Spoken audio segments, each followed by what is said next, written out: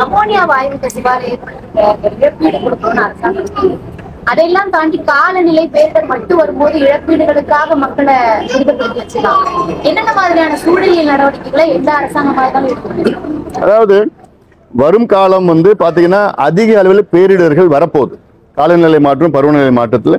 இது நான் மட்டும் கடந்த பதினைந்து ஆண்டு காலமாக சொல்லி வந்துட்டு இருக்கேன். இதை பத்தி எந்த அரசியல் கட்சியோ அரசியல் தலைவர்களோ யாரும் பேசுவது கிடையாது. இப்போ நம்ம பாதிப்பு தொடங்கிடுச்சு.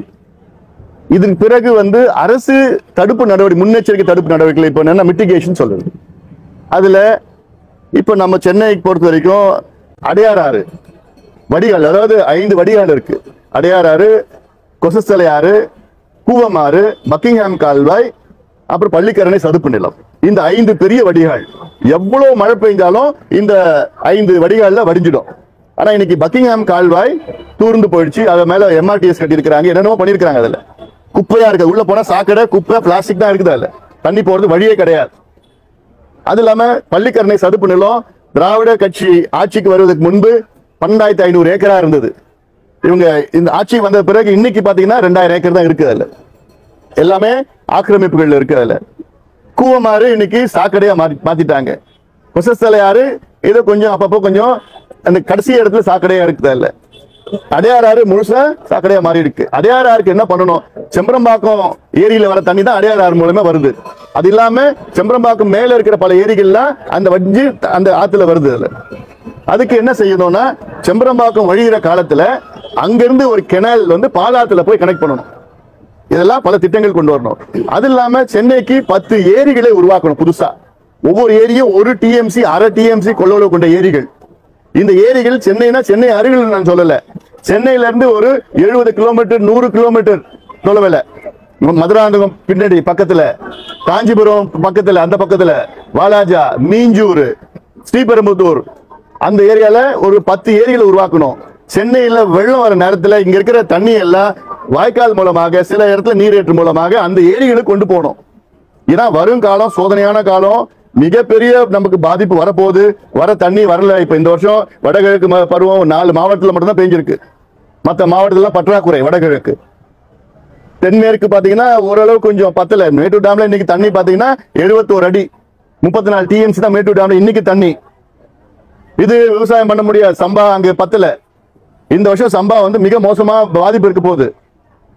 குருவையே பார்த்தீங்கன்னா ரெண்டு லட்சம் ஏக்கர் வந்து கருகிடுச்சு பயிர் குருவையில் அப்போ வரும் காலம் மோசமா இருக்க போகுது. சென்னைக்கு அப்படி வெள்ளம் வந்தா கூட டைவர்ஷனரி கெனால்ஸ்னு இருக்கு. டைவர்ஷனரி கெனால்ஸ் நிறைய கட்டணும்.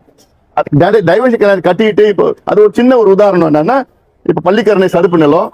பள்ளிக்கரணை சதுப்பு நிலத்துல இருந்து நம்ம ஒக்கிய மதகு வ- வழியா தொரப்பாக்கத்துல ஒக்கிய மதகுன்னு இருக்கு. அந்த வழியா வந்து பாத்தீங்கன்னா முட்டுக்காடுல போய் சேருது தண்ணி. அது போறதுக்கு பதினாலு கிலோமீட்டர் முட்டுக்காடுல சில நேரம் தண்ணி வந்து அந்த சாண்ட் பேங்க்னால தண்ணி போக முடியல. இல்ல அதை தாண்டி போய் கோவலத்தில் போவோம் இல்ல மகாபலிபுரத்தில் போய் தண்ணி போவோம். ஆனா அவ்வளவு தண்ணி போ அவ்வளவு தூரம் போச்சுன்னா தண்ணி பேக்லாஷ் இருக்கும். ஒக்கிய மதகுல இருந்து கடலுக்கு அங்க பகுதியில ஒரு ஒன்றரை கிலோமீட்டர் தான். அந்த ஒன்றரை கிலோமீட்டர்ல ஒரு வாய்க்கால் கட்டுங்க. கட்டி அந்த தண்ணியை வெள்ளம் தண்ணி அங்க ஏத்துனா டக்கு டக்குன்னு தண்ணி இங்க வடியும். இதெல்லாம் பல யோசனைகள் நாங்க பல முறை சொல்லியிருக்கிறோம் நாங்க. ஆனா இந்த யோசனைகள் ஜிஐஎஸ் மேப்பிங்ல எந்த தெருவில் எவ்வளவு தண்ணி நிற்கும் எல்லாமே பண்ணணும்.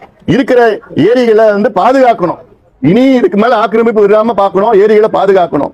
அப்புறம் இந்த சென்னைக்கு தண்ணி வர்றது ஒண்ணு வீராணம் மூலயமா வருது. அடுத்தது பாலாறு தண்ணி. எப்படி பாலாறு தண்ணின்னு கேக்குறீங்களா? பாலாறு தண்ணி செம்பரமாக்கு வரைக்கும் வருது அது. எனக்கு அங்கே வடிஞ்சு வடிஞ்சு வருது. அதில் காவிரி பாக்க ஏரியில இருந்து தண்ணி வந்து வருது வருது வருது, வருது இருக்கு. அதெல்லாம் பல த- அப்புறம் கிருஷ்ணா தண்ணி வருது. எல்லாம் அப்புறம் டீசாலினேஷன் பிளான்ட் பண்றீங்க. டீசாலினேஷன் பிளான்ட் எங்களை பொறுத்த வரைக்கும் அது வந்து ஒரு ஃபெயிலியர் மாடல் டீசாலி தமிழ்நாட்டில் சென்னையில் வ- ஆண்டுக்கு மழை பார்த்தீங்கன்னா சராசரி மழை ஆயிரத்தி ஐம்பது மில்லிமீட்டர் வருது. ஆயிரத்தி ஐம்பது மில்லிமீட்டர் மழை பெய்கின்ற ஒரு நகரத்துக்கு டீசாலினேஷன் தான் தேவையா? உங்களுக்கு அந்த தண்ணியை பாதுகாக்க துப்பு கிடையாது. இவ்வளோ காலமா விட்டுட்டீங்க. அதை விட்டுட்டு டீசாலினேஷன் எங்கே போடுவாங்க? சவுதி அரேபியா துபாய் மழை இல்லாத பகுதியெல்லாம் போடுவாங்க. இஸ்ரேல் போன்ற நாடு சவுதி அரேபியா போன்ற நாடு அங்கே ஐம்பது மில்லிமீட்டர் முப்பது மில்லிமீட்டர் மழை தான் பெய்யும்.